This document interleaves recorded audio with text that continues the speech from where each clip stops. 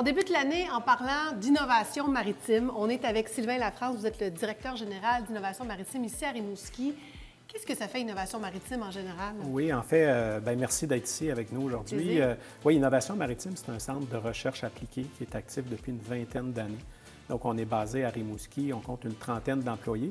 Bien, nos, champs d'intervention, c'est euh, pour beaucoup l'ingénierie, l'ingénierie des navires, l'optimisation des, opérations également au niveau portuaire. On travaille également au niveau du transport maritime, tout ce qui est la, connaissance du transport maritime. Mm-hmm. Et euh, on travaille beaucoup sur tout ce qui est euh, l'impact environnemental de l'industrie maritime.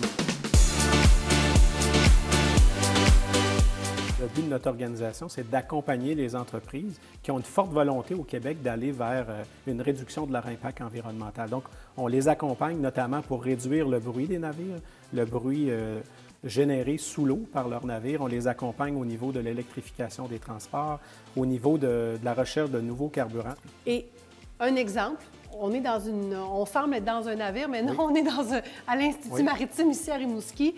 Ça ici, dites-moi, c'est quoi exactement?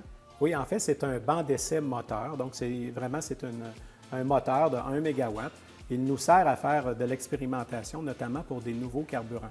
Donc, au lieu d'aller faire des tests sur des grands navires, lorsqu'il y a un certain, un certain risque à utiliser des nouveaux carburants, on peut venir ici, utiliser notre équipement qui est unique au Québec, unique au Canada, et donc regarder euh, quels sont les effets sur la mécanique même euh, de l'équipement, de l'utilisation d'un nouveau carburant, et voir aussi ses effets bénéfiques, notamment sur les gaz d'effet de serre.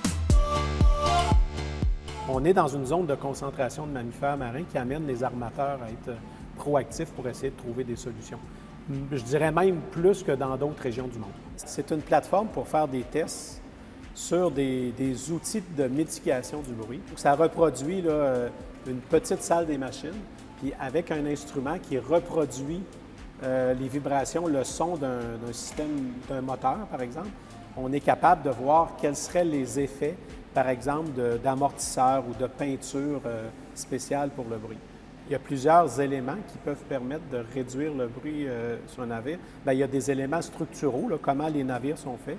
Ensuite, il y a, la première mesure, c'est réduire la vitesse des navires. Mmh. Ça, c'est une chose. Ensuite, il y a des technologies comme des amortisseurs qu'on met sous les, les, moteurs, entre autres, des amortisseurs de bruit euh, qu'on peut introduire. Et ici, on va tester aussi une peinture anti-bruit. On peut mettre des mousses isolantes aussi euh, à l'intérieur de, de, la plateforme pour voir ses effets relatif sur la réduction du bruit. C'est une des voies qu'on explore, c'est regarder, euh, c'est un projet qu'on appelle les métamatériaux, regarder si, à travers la conception de résonateurs avec nos imprimantes 3D, on est capable de développer un outil qui serait capable d'annuler euh, certaines vibrations sur des coques de navire. Donc, on cherche la bonne fréquence avec les métamatériaux pour être capable d'annuler certaines fréquences de vibrations sur, euh, sur les navires.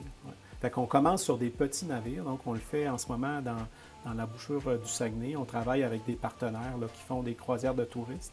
Pour les belugas. Pour les belugas, les baleines. On travaille avec eux pour essayer de développer cette technologie-là. On veut aller vers les bateaux de pêche après coup et ultimement vers les grands navires si euh, on a des résultats probants euh, en, en, termes de réduction de bruit. C'est quand même flyé. Absolument, oui. C'est une approche tout à fait innovante. Donc là, si je comprends bien, on donne un choix à un navire, trois options, puis ça prend en considération le coût, le coût du carburant, les GES.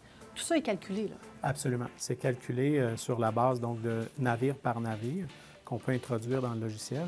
Et ce que ça permet de voir, c'est si on continue sur le même mode d'opération, voici les gaz à effet de serre qu'on va produire. Si on fait un choix différent en termes de vitesse, voici le gain qu'on peut faire en dollars et en réduction de GES. Donc, on utilise vraiment la donnée pour essayer d'amener des gains au niveau environnemental. Lafranche, j'ai remarqué aujourd'hui que l'innovation dans le maritime, c'est infini. Là. Oui, il y a tellement de choses à faire.